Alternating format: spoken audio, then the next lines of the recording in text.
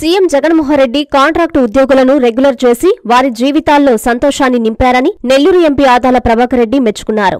Regular అయిన contract లెక్చరర్లు ఆదివారం MP ఆదాలను ఆయన స్వగృహంలో కలిసి సన్మానం చేసి కేక్ కట్ చేయించారు. ఈ సందర్భంగా ఆయన మాట్లాడుతూ సీఎం జగన్మోహన్రెడ్డి పాదయాత్ర చేసినప్పుడు ఇచ్చిన హామీని నెరవేర్చి కాంట్రాక్టు ఉద్యోగుల జీవితాల్లో వెలుగులు నింపారని కొనియాడారు. భవిష్యత్తులో మీరు ఆయనకు అండగా ఉండాలని కోరారు. ఉపాధ్యాయ ఎమ్మెల్సీ చంద్రశేఖర్ రెడ్డి టీచర్ల సమస్యల పరిష్కారంలో చొరవ చూపుతున్నారని ప్రశంసించారు. ఈ కార్యక్రమంలో ఉపాధ్యాయ MLC Chandrasekhar Reddy Vijaya dairy chairman Rangareddy తదితరులు పాల్గొన్నారు.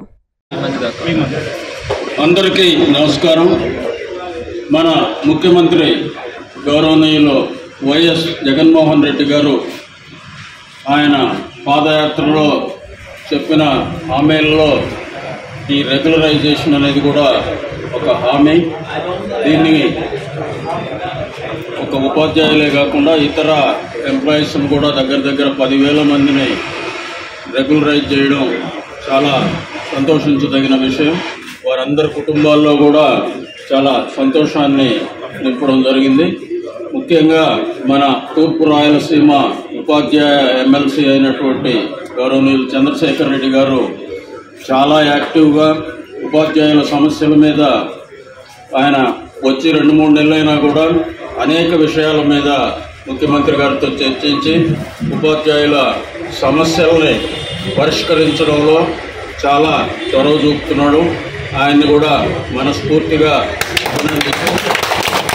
మన జిల్లాలో చాలామంది ఉపాధ్యాయులు గత ఇరవై ఇరవై తొమ్మిది సంవత్సరాలుగా పనిచేస్తూ వాళ్ళు అందరూ కూడా ఈరోజు ఈ కార్యక్రమం వల్ల ఎంతో సంతోషంగా ఈరోజు జగన్మోహన్ రెడ్డి గారికి కృతజ్ఞతలు తెలిపే కార్యక్రమాన్ని మా సమక్షంలో చేయడం చాలా సంతోషించదగిన విషయం.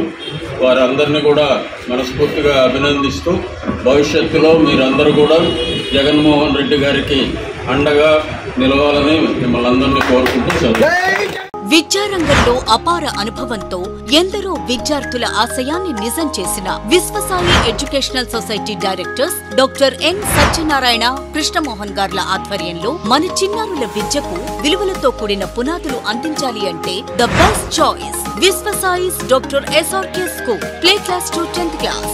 Magunta layout Nellore.